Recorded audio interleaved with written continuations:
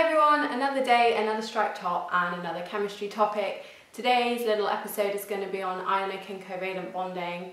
Um, let's talk first of all about what bonding is. Remember that all we're doing here is joining two atoms together and if those, depending on whether they're metals or non-metals, that helps us decide if it's ionic or covalent bonding.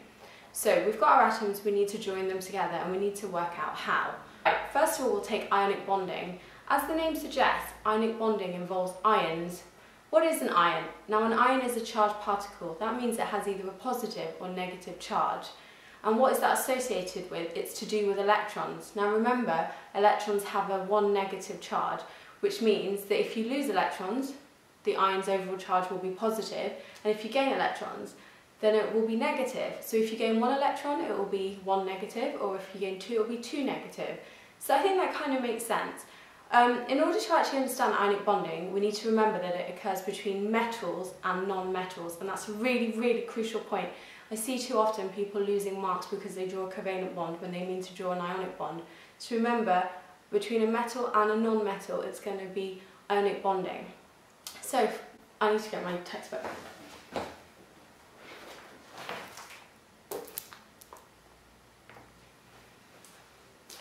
So the best way of doing this is if I draw it, so I'm going to cut to a drawing. I really hope that that's in focus. I'm going to start with ionic bonding.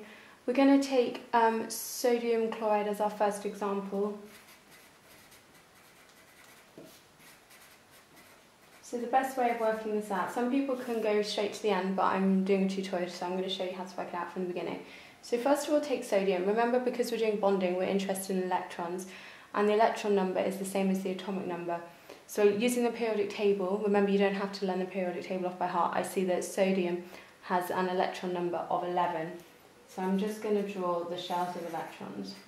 And remember, the way that it works is that the first shell of electrons can only have a maximum of two electrons, and then after that the shells can have eight. So I filled up two, then eight, and I'm going to spill over. So we have one electron in our outer shell, which I think we should know anyway, because remember, sodium's in group one, and group 1 elements have one electron in the outer shell. So remember also that I paired up my electrons, keeping it nice and neat and to chemistry writing convention. So now chlorine, that has 17, again using the atomic number, tells me the electron number. I'm going to use dots to represent these electrons. Okay, so now we step back and we have a look. So sodium has one electron, its outer shell, chlorine has seven. Remember both um, elements want to have a full outer shell, and that would be 8 in this case. So the straightforward thing here is for sodium to transfer its electron to chlorine. Why is that? Because it's much easier to lose one electron than gain 7. So I'm just going to show you what's going to happen. And then to actually write the answer, we're going to write out, draw out the electrons again. So there's sodium done, now chlorine. Okay, and remember that electron has moved from sodium to chlorine, so we're going to draw it as a cross here. Um, and we see that both elements now have a full outer shell, which is exactly what we were after. Now at this point you have to add brackets, so big square brackets around each. And we have to add a charge. Now because sodium has lost an electron, remember an electron has a negative charge, so in comparison the sodium ion will now be positive, so that's going to be positive 1. And also chlorine has gained an electron, so it's gained a negative charge, so it'll be 1 negative. And there's your answer. So your formula for sodium chloride, chloride is NaCl. Right, let's have a look at a more difficult example. This time I'm going to be looking at magnesium fluoride. I'm going to do exactly the same. So I'm going to draw up my electron configuration. So for magnesium, has an atomic number of 12, so its electron number is 12. So bad at drawing, even circles.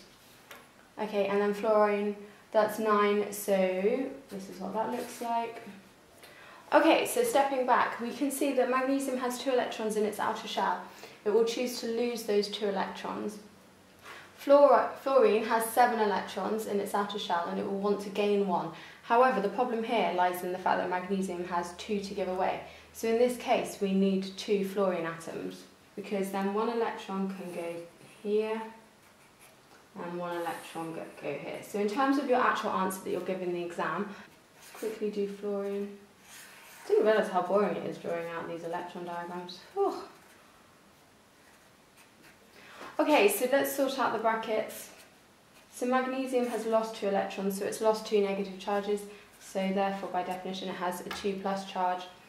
Fluorine's slightly trickier. Make sure you're looking at the electron here. It's only gained one, so it's going to be one negative. However, because you needed two fluorine atoms in order to balance out the magnesium charge, you're going to write a big 2 there.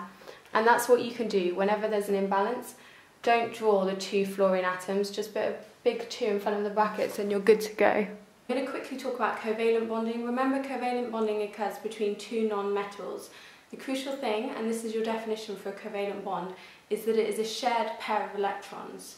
So in this case, electrons don't move from one atom to another, they merely get shared, and it occurs between two non-metals. Okay, so remember your summary is ionic bonding occurs between a metal and a non-metal, covalent bonding occurs between two non-metals. So let's look at some examples. I'm going to pick a nice straightforward one, hydrogen chloride. So same old, draw the electron configurations for each. Now at this point I just want to point out that you don't actually have to draw all the shells of electrons, you can just choose to draw the final shell because then it saves you drawing it out. Because remember these middle shells are kind of just fillers. I'm just going to draw it to show you. Right, so some people here might be tempted to do an ionic bond and transfer the hydrogen electron to chlorine, but remember you can't do that in this case because this is covalent bonding, it occurs between two non-metals ionic bonding by definition can only occur between a metal and a non-metal. So in this case we'll just choose to um, share the electrons. Now just pointing out hydrogen, I know in our previous examples to have a full outer shell there was 8 electrons needed, but remember in the first shell it can only contain a maximum of 2, so all hydrogen actually needs to gain is 1 electron, not 7. So I'm going to draw you how this would look as a covalent bond. So different people have different ways of drawing this, but I draw them overlapping so you can see the sharing of electrons. We're going to fill in the outer shell of chlorine again. There's its final electron, and then hydrogen just had one, so we're going to pop it there. Now can you see, because they're sharing, they both have a full outer shell. Hydrogen has two and chlorine has eight. I'm going to use methane this time. Um, that's an alkane. Check out my alkane video if you're not quite sure about alkanes. Carbon has six electrons altogether that looks like this. And hydrogen, nice and straightforward, it only has one. Right, so we can, first of all you can see from the formula that you'll need four hydrogens, but it also makes sense because hydrogen only has one electron to share. So say that this electron shared over here, you'd still have um, only five electrons in the outer shell and you need eight. So we're going to draw quite a nice pretty diagram, it looks a bit like a flower for this one to show you what it looks like. So I'm going to draw carbon in the middle, I'm going to draw four hydrogens around the outside. Remember to label them with the chemical symbol so you know which element we're talking about. And then finally fill in the electrons. And as always with these diagrams, have a step back and make sure it makes sense. So hydrogen, they each have two electrons, so that's perfect. Carbon, if you add them up, two, four, six, eight, it has eight electrons in its outer shell. But I'm going to finish off with quite a tricky example, and that's carbon dioxide. Um, remember the formula of carbon dioxide is CO2. The reason being that di means two, so you'll have two oxygen atoms. Um, carbon monoxide's formula is CO because monoxide, mono means one, so you'll have one oxygen atom. Anyway, I digress. So let's draw our electron configuration. Because I know from the formula dioxide, I know that I need two oxygens. So keep your diagram symmetrical as always, particularly covalent bonding. So that will look like this. I'm going to draw carbon in the middle and then an oxygen atom on either side.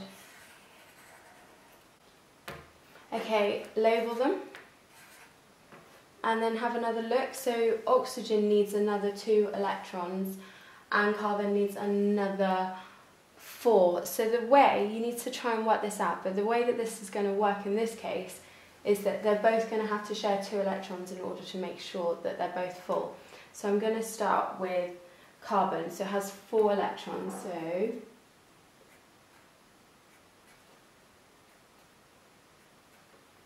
Okay, so there's four, and oxygen has six electrons in its outer shell. So I know that carbon needs another four, so I'm going to put one in here, one in here. So that's one, two, three, four, five, six. And let's make sure that we keep it symmetrical and do exactly the same on the other side. Alright, so there's our final example. I really hope you found this video useful. Sorry about all the shaking.